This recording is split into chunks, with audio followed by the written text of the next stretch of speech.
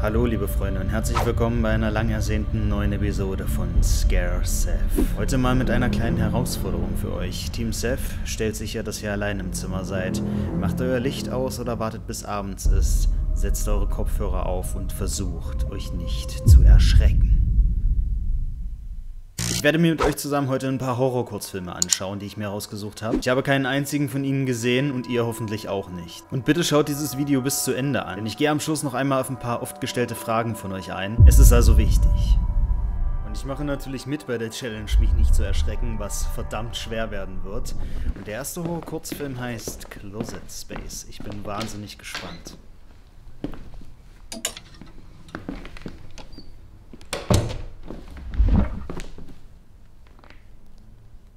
Das ist die Frau von Lights Out, oder? Die machen sehr, sehr gute Horror-Kurzfilme.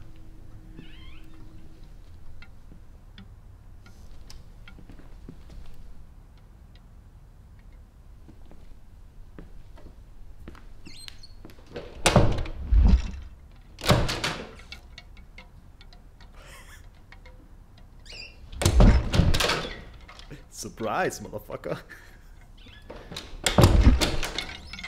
Ist eigentlich cool, oder? Noch. Ich habe das Gefühl, das wird sich sehr bald ändern. Genau jetzt vermutlich.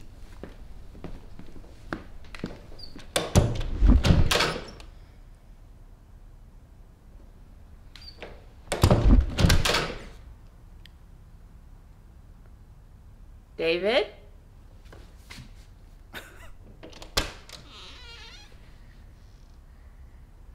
You go in there? What? Oh no. I want to try something.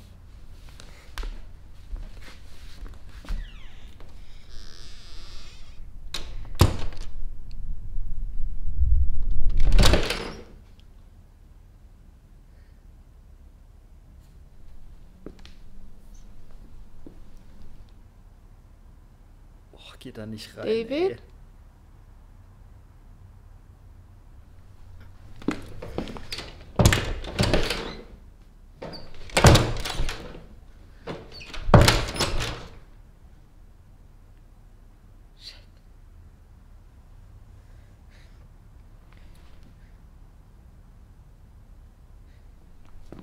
Hab's gewusst, ey.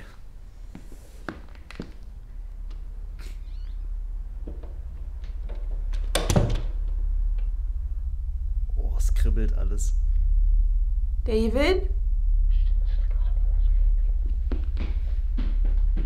Boah, ey.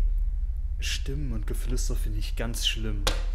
Das gehört echt zu den Sachen, die mir übelst Angst machen.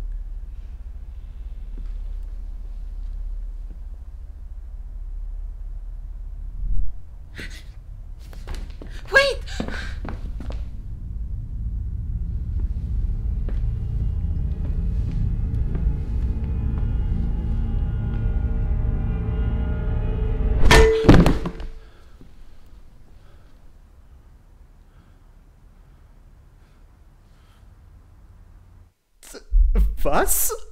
Was, das war's?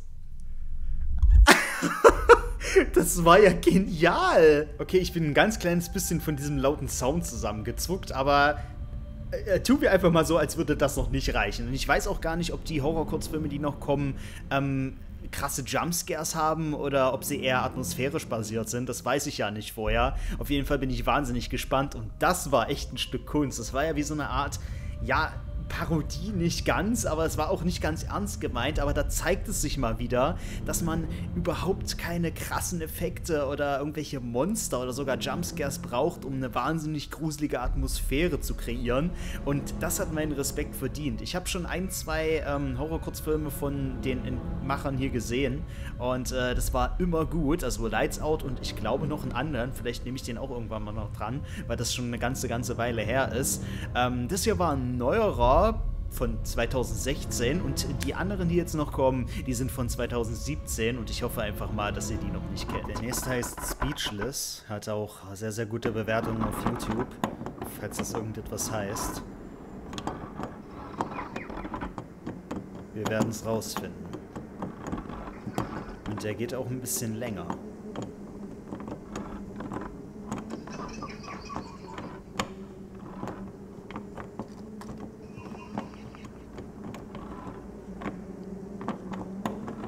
sind auf jeden Fall im Kinderzimmer, ey. Ich glaube, die mit Kindern sind immer am schlimmsten.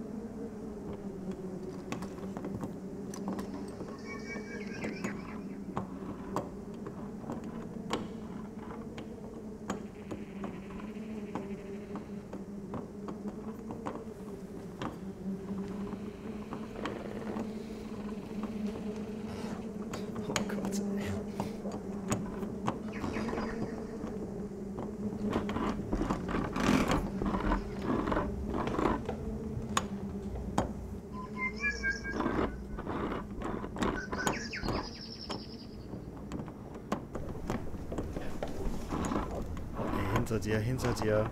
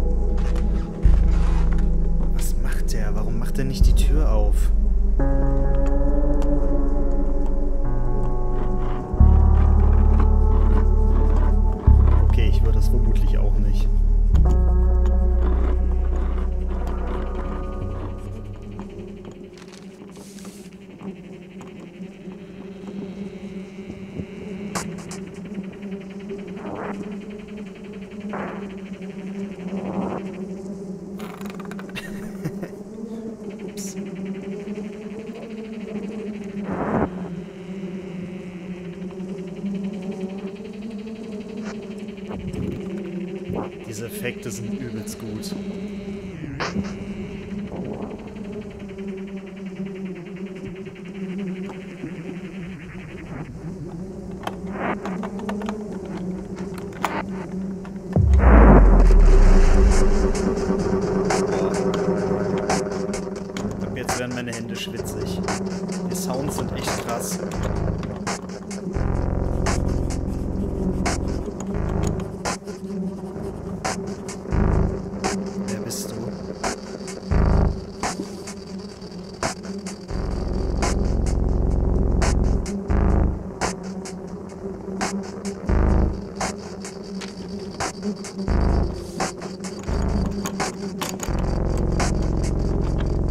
Tür, erinnerst du dich nicht? Wir malt öfters mal Bilder von Monstern, oder?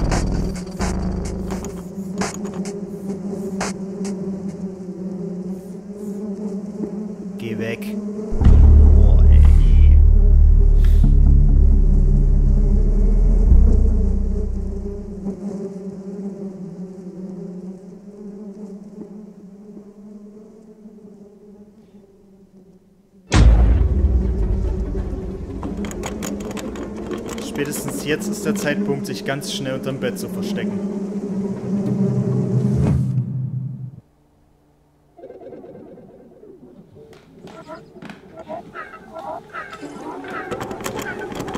Ich komme und reiß dir die Haut ab,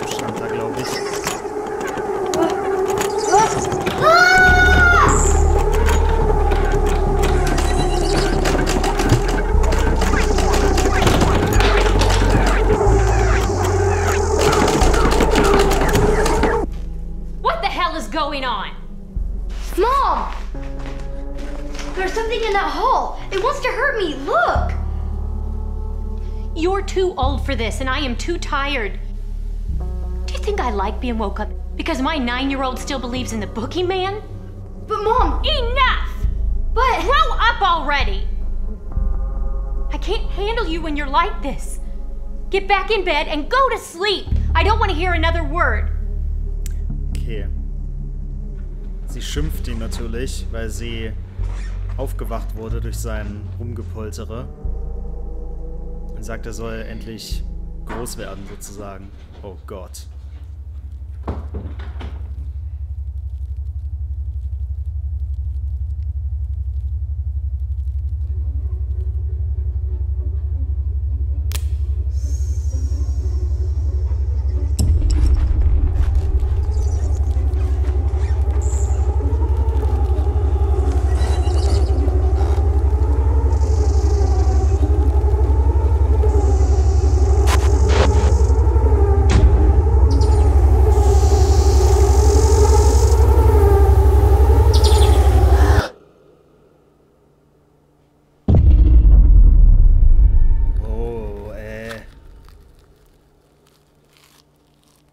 Das Monster war schon echt cool gemacht, der Boogeyman.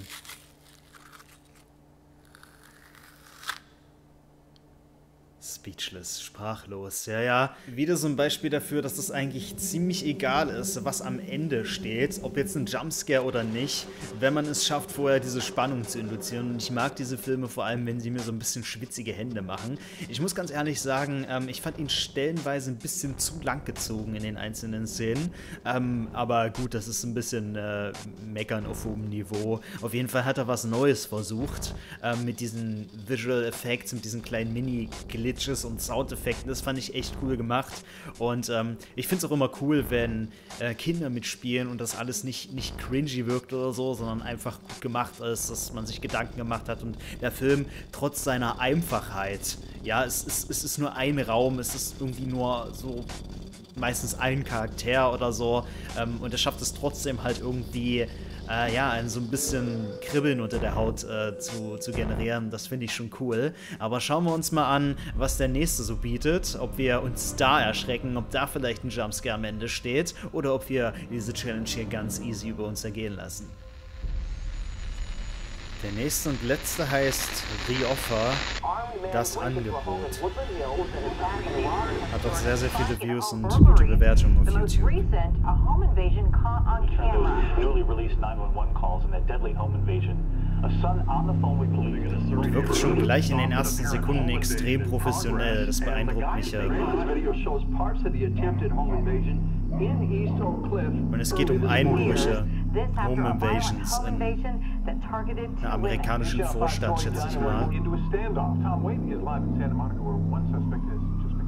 Und ich glaube, wir können uns schon vorstellen, worauf das hinausläuft.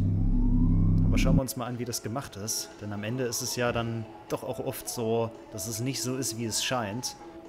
Und nicht so, wie es der Film zum Anfang suggeriert. Und das macht es sehr spannend und überraschend.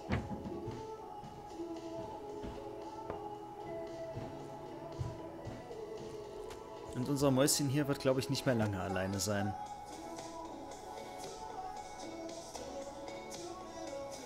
Erdnussbutter-Sandwiches. Was für ein Klischee.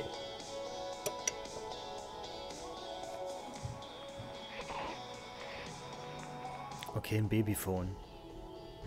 Oder eine Babycam oder sowas war das, glaube ich.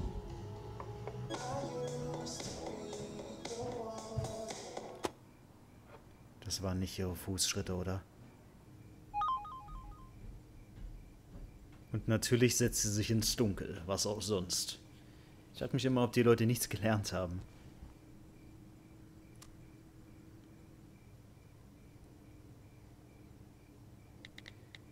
Was geht ab? Wer ist da? Ich habe deine Nummer nicht. Dein schlimmster Albtraum.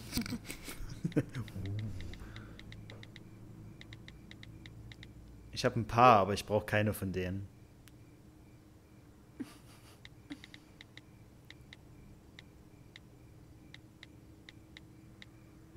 Nee, mal im Ernst, da?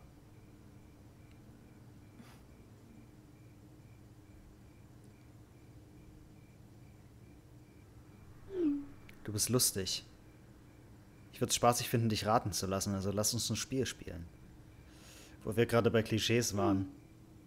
Du hast drei Hinweise. Ich habe dir einen gegeben. Hm. Ein Typ, der zugibt, Spiele zu spielen?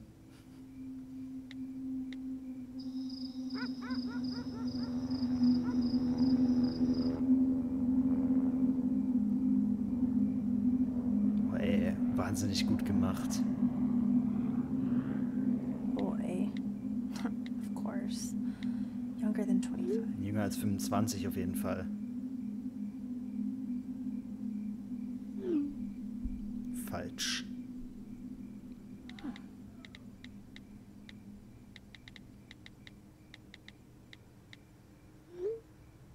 Wie oft sehe ich dich? niemals.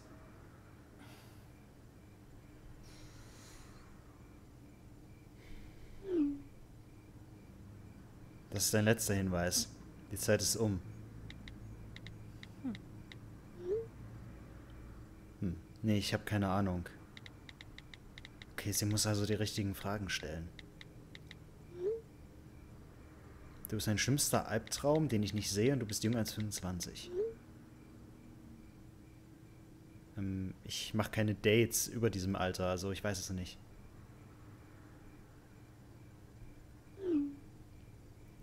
Schade, du hast verloren. Ich zeig dich, wenn du... Ich könnte es nicht lesen.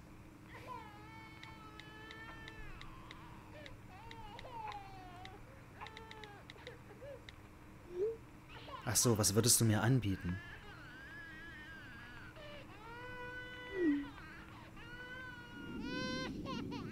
Würde ich als Babysitter engagieren, hat sie, glaube ich, geschrieben. Oh nein.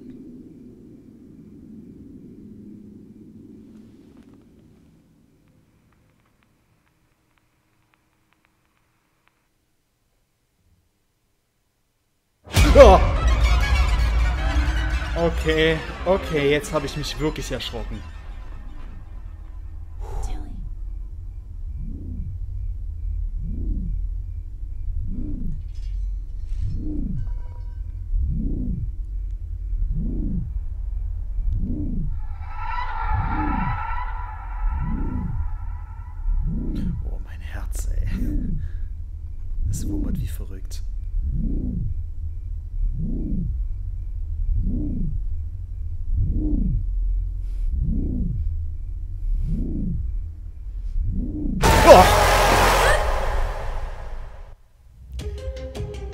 Oh, Wahnsinn. Man, man kann auch nicht anders. Okay, wir haben halt kein Monster, sondern wir haben mehr oder weniger so eine Real-Life-Story. Das ist auch mal was anderes. Ich bin überrascht, dass ich es irgendwie ja aus Zufall hingekriegt habe, dass äh, alle drei Filme irgendwie eine völlig andere Gangart fahren. Interessant. Wir hatten eine Real-Life-Story mit Jumpscares ohne Monster. Wir hatten ein Monster ähm, in einem Film, was nur auf Atmosphäre basiert. Ähm, und wir hatten einen, der ja so halb ernst gemeint, aber trotzdem gruselig war. Wahnsinnig interessant. Wie gesagt, ich kannte keinen von dreien vorher. Falls ihr Bock habt auf mehr, dann lasst mir auf jeden Fall einen Daumen nach oben da. Und jetzt werde ich euch noch ein paar Punkte über die Zukunft dieses Formats erzählen. Alle, die schon länger dabei sind, wissen ja, dass Scareself ursprünglich mal als Community-Format gedacht war. Das heißt, ihr schickt mir gruselige Sachen, Videos, Bilder, Geschichten, Seiten etc., auf die ich dann reagiere. So ähnlich wie Verstörend von Rapti, nur halt mit euren Vorschlägen und eher so als Live-Reaction. Und ihr habt ja sicherlich alle mitbekommen, dass YouTube neue Werberichtlinien fährt, Stichwort Familienfreundlichkeit. Und das geht eben nicht nur für Gewalt, sexuelle Inhalte oder kontroverse Themen wie Politik, Religion, sondern eben auch für alles, was gruselig ist. Und da war es damals so, dass YouTube die Videos, die verdammt aufwendig waren, nicht richtig monetarisiert und verteilt hat. Und es geht nicht mal nur darum, dass ich damit dann kein oder wenig Geld verdient habe. Ich muss Geld verdienen, sonst kann ich kein YouTube mehr machen. Sondern vor allem, dass ich mir ganz viel Arbeit gemacht habe, die ich mir sehr, sehr gerne für euch mache. Diese Richtlinien aber scheinbar auch diese Videovorschläge beeinflussen und es viele von euch oder viele potenzielle Zuschauer gar nicht zu sehen bekommen, weil es ihnen einfach nicht angezeigt wird. Und das ist verdammt ärgerlich. Und mein Channel hat jetzt so ein bisschen ein anderes Standing, deswegen würde ich das gerne mal ausprobieren und deswegen habe ich jetzt mal nur auf Kurzfilme reagiert, weil sich das ganz einfach wesentlich einfacher und schneller produzieren lässt, im Vergleich zu, wenn ich 1000 Programme nehmen muss, um Twitter-Nachrichten abzufilmen, das alles zusammencutte etc. Also Freunde, wenn das gut läuft, gibt es gerne mehr und dann können wir auch gerne zum ursprünglichen Format zurückkehren. Das liegt einerseits an euch und andererseits natürlich an YouTube. Um das zu unterstützen, lasst mir gerne einen Daumen nach oben da, zeigt es euren Freunden, eurem Hund. Und damit das nicht nur von einem Video abhängig ist, mache ich dir gerne in nächster Zeit ein, zwei, drei mehr Folgen von. Und dann schauen wir einfach mal. Aber für heute erstmal vielen lieben Dank fürs Zuschauen. Sämtliche Horror-Kurzfilme sind unten in der Videobeschreibung verlinkt von den ja, Erstellern. Also lasst denen gerne mal Props da, besucht die mal, lasst einen Daumen nach oben da ebenfalls für ihre Arbeit, weil die haben sich die Mühe gemacht. Ich sitze nur da und gucke mir das Zeug an. Und dann sehen wir uns gerne beim nächsten Mal. Bis dann, haut rein und eine gute Nacht.